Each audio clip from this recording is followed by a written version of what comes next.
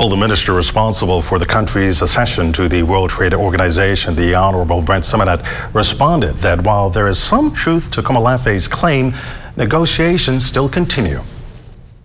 So we put forward our proposals for accession. Other member states will comment on them. I think we have another three weeks for the full comments to come in. We will review them and look at ones that are acceptable to us in, in the parameters or not acceptable to us and be guided accordingly. So this is a negotiation process and not once we join, it's not necessarily that all trade barriers are dismissed. They are uh, trade barriers or trade agreements that are agreed in the accession process.